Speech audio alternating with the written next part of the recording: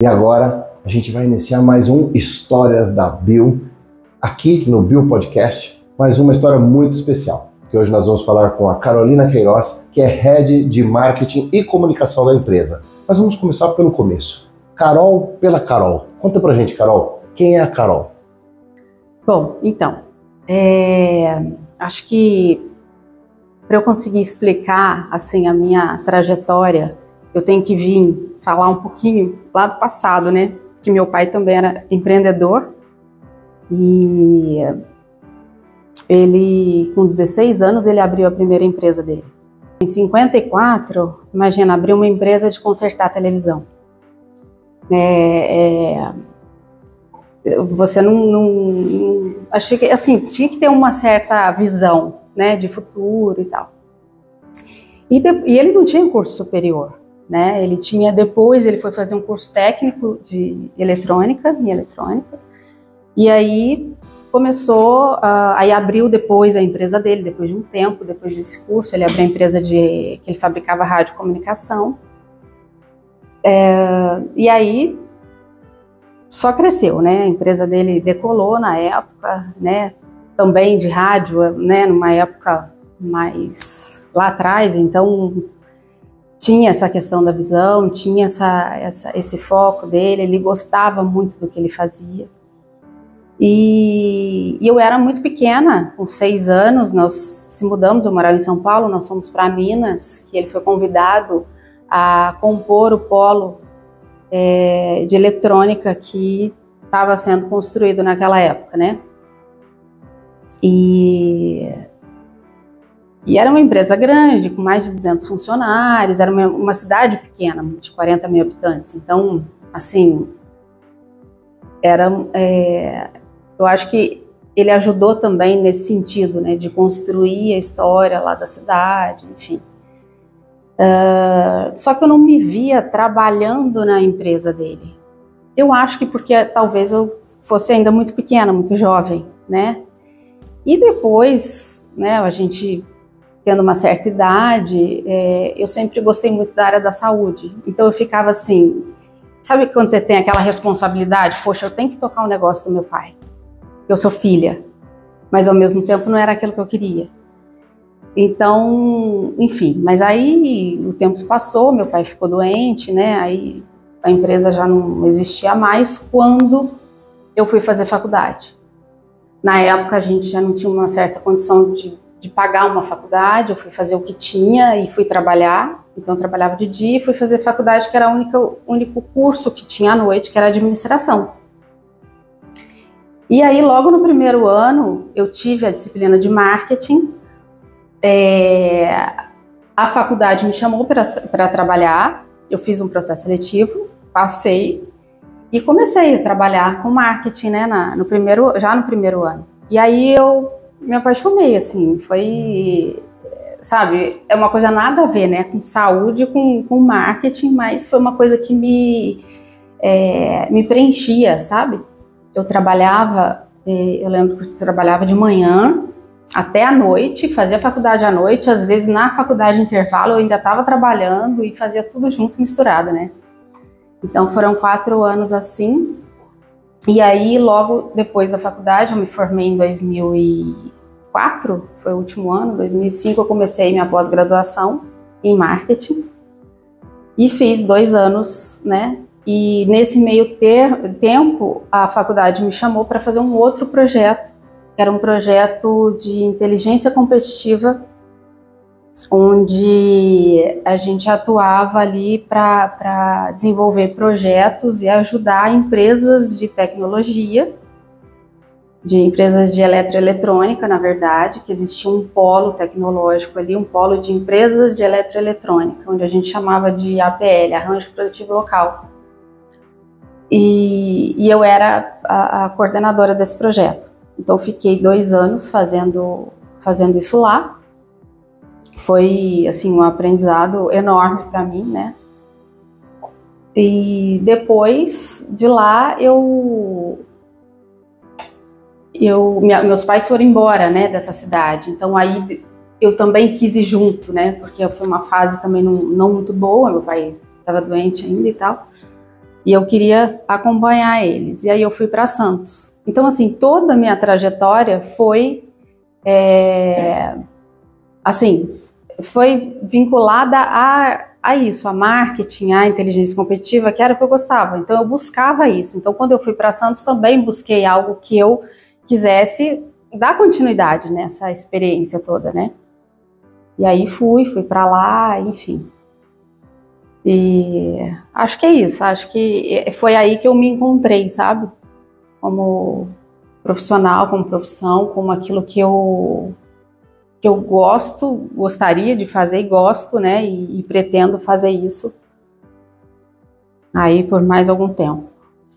E daí então, agora em Santos, como foi o seu vínculo com a Bill, ou como conheceu uh, toda essa história? Como começou isso? Deve ter algum vínculo aí que você queira contar pra gente.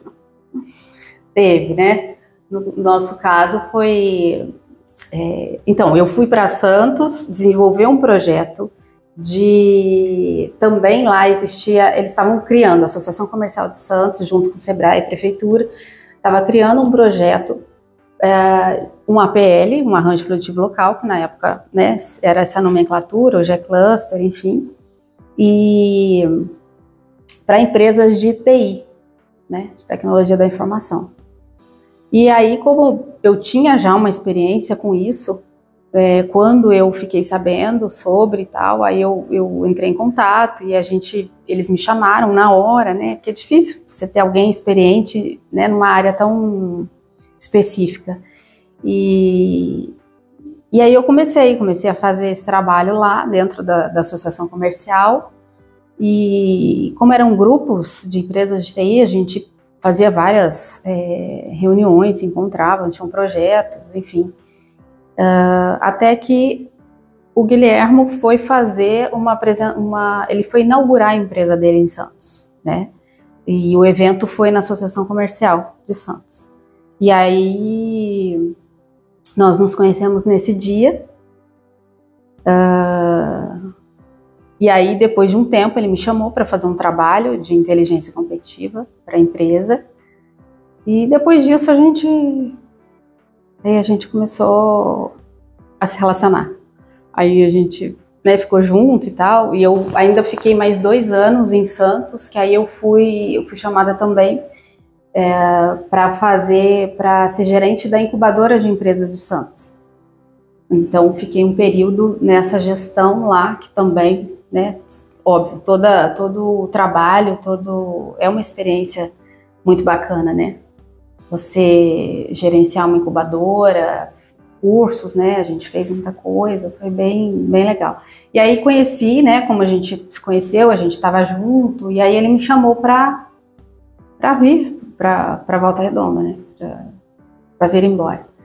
E aí eu aceitei a, a ideia da gente ficar junto e foi aí que começou, porque aí nós a gente se casou, né? Logo depois, foi, foi rápido e tal.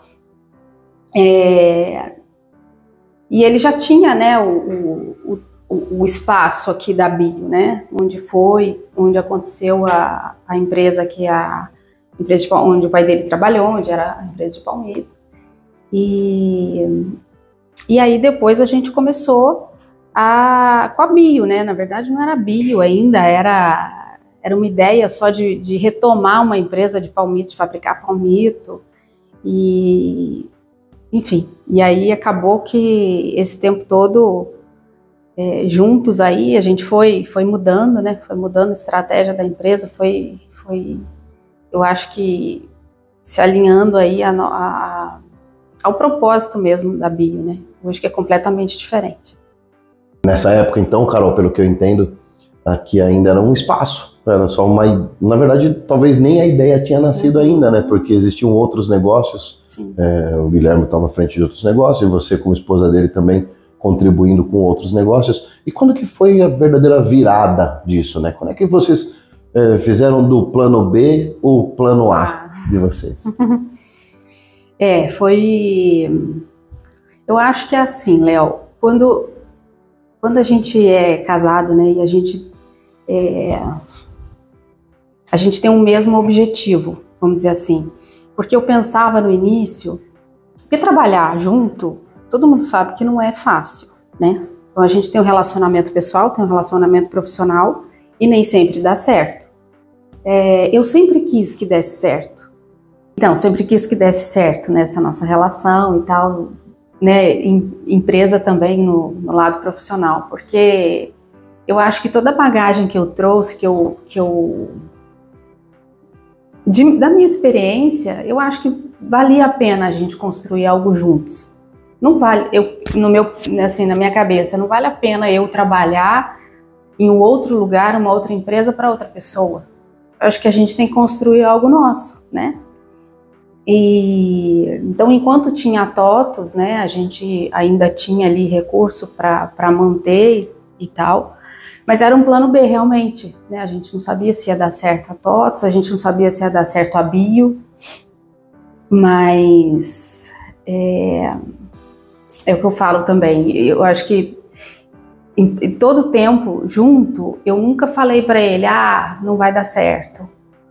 Eu sempre, é, a minha mensagem para ele era, se não der certo, a gente começa de novo, tá tudo bem, né? Então acho que isso fez a gente também ir se conectando e fazendo tudo isso juntos, né? Caminhando juntos. E nessa jornada juntos, você à frente do marketing, da parte da comunicação da Bill, uh, isso veio desde o início, imagino, né? Desde a formatação da Bill, você já era responsável por esse marketing. Quais foram os seus grandes desafios e para onde você pretende levar essa comunicação? Bom, gente, eu não comecei como marketing na bio, né? Eu, eu fazia a, a, parte de marketing da TOTOS, antes da, das franquias, é, mas não era algo que a gente criava, né? Franquia sempre vinha tudo pronto para nós, a gente coordenava internamente. É, e, e, junto com a, a, equipe de prospecção. Quando nós ficamos só com a bio, né? E eu acho que o, o trabalho aqui é, é muito mais estratégia, é muito mais. É, eu acho que focado no, no, em uma reputação, né? A gente não tem isso. Então, é, tem toda essa parte de criação de uma companhia. A gente começou do zero. Né? Eu não entrei aqui já com a companhia com uma marca, com uma reputação, com o mercado. Então, essa criação é uma bagagem, né, assim, excepcional para todo mundo que, tá, que acompanha, que está acompanhando, que vem acompanhando com a gente. É, mas eu acho que assim a pergunta que você fez sobre uh, qual o desafio, né, da, da, comunicação. Eu acho que o que mais é, a gente se preocupa muito é a reputação da empresa, né? Eu acho que é a qualidade dos produtos, eu acho que a gente criar uma marca é, relevante para o mercado, onde a, a, gente leve a sustentabilidade, né, a, aos impactos que isso, que a bio causa no meio ambiente, que causa para as pessoas. Uh, então, é, eu acho que é isso. A, o desafio é esse: a gente chegar com uma comunicação clara e, e onde as pessoas entendam que a bio num simples gesto, numa simples, né, num produto de qualidade, num, numa marca, num, enfim. Eu acho que nas pessoas, né? Eu acho que está muito ligado também à, à, equipe. Eu acho que as pessoas que trabalham hoje na bio, a gente conseguiu construir uma equipe muito legal, né? Muito, muito bacana. Eu acho que todo mundo gosta do que faz. Conta pra gente uma história que aconteceu na bio e que marcou muito a sua vida.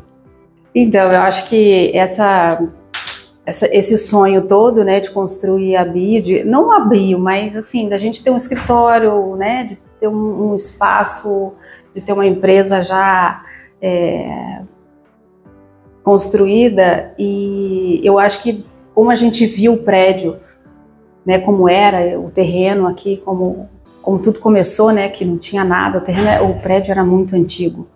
Então, assim, de ver isso tudo pronto, acho que no dia da inauguração foi, acho que esse momento mais, é, assim, gratificante, né? para mim, pelo menos acho que foi nesse dia.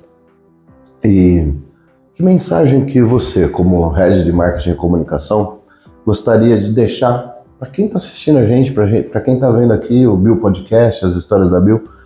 Que coisa marcante para você, ou que mensagem você, como head, gostaria de deixar para outros empreendedores, para quem está assistindo, para quem acompanha o Bill Podcast? Uma mensagem que verdadeiramente possa contribuir para isso tudo que a Bill está contribuindo para o mundo.